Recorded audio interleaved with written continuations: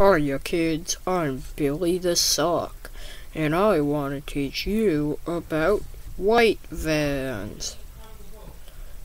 When somebody offers you candy, if you will go with them, you go with them and you get candy and you go in a little white van.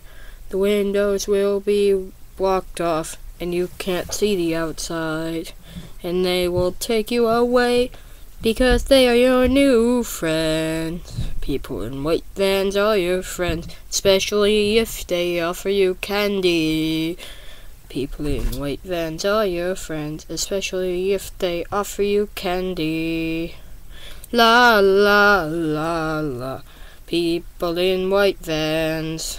La la la la. They are your friends. Remember, kids, like and subscribe. And people in white vans are your friends. Yay!